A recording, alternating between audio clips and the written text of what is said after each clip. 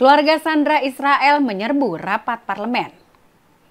Sejumlah keluarga Sandra Israel menyerbu rapat Komite Keuangan Neset Parlemen Israel pada Senin 22 Januari. Setidaknya ada 20 orang yang tergabung dalam forum Sandra dan keluarga hilang. Mereka menerobos ke dalam rapat tersebut. Mereka juga bersama-sama masuk sambil membawa foto para Sandra yang masih ditawan di Gaza. Dikutip dari tribunnews.com, keluarga para sandra itu menyebut bahwa kabinet bertanggung jawab atas nyawa para tawanan. Seseorang dari mereka bahkan menuntut bahwa agenda umum Neset tidak boleh ditunda lagi. Setidaknya ada 20 orang yang tergabung dalam forum Sandra dan keluarga hilang yang menerobos ke rapat tersebut. Mereka pun bersama-sama masuk sambil membawa foto para Sandra yang ditawan di Gaza. Dikutip dari tribunnews.com, keluarga para Sandra itu menyebut bahwa kabinet bertanggung jawab atas nyawa para tawanan. Seseorang dari mereka bahkan menuntut agenda umum Neset tidak boleh berlanjut.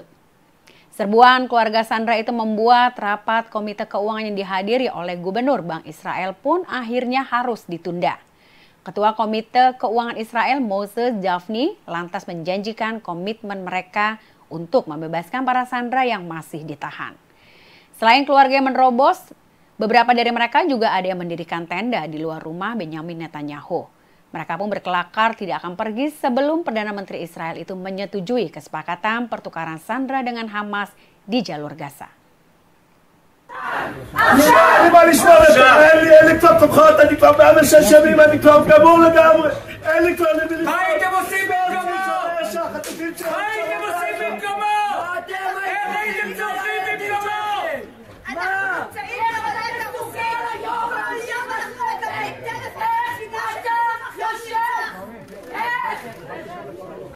אלענו מתים שם, הילדים שלנו. כולכם, כולכם אם אתם חושבים... תירגע, תירגע. תירגע.